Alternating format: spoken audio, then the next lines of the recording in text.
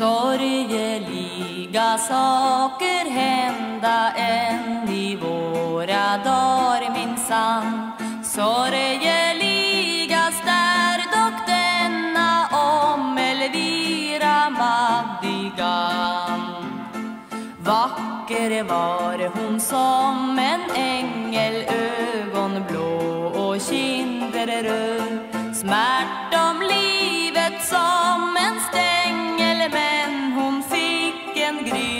Grymmer död När hon dansade på lina lik en liten lärka glad hördes bifallsropen vina ifrån fyllda bänkars rad.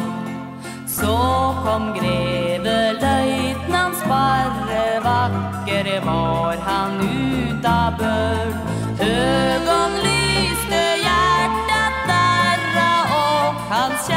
kärleksbön blev hörd.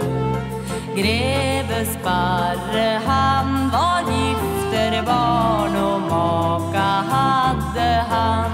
Och från dessa då han rymde med Elvira Madigan.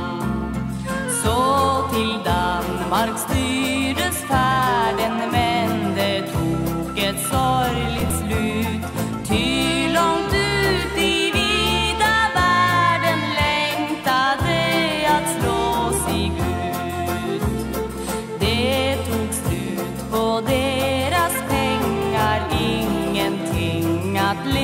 leva av för att undgå ödets stränga tagade sin ro i grav.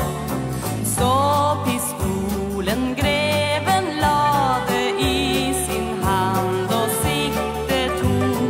Skottet träffade Elviras hjärta knappt, hon andas förr'n hon dog.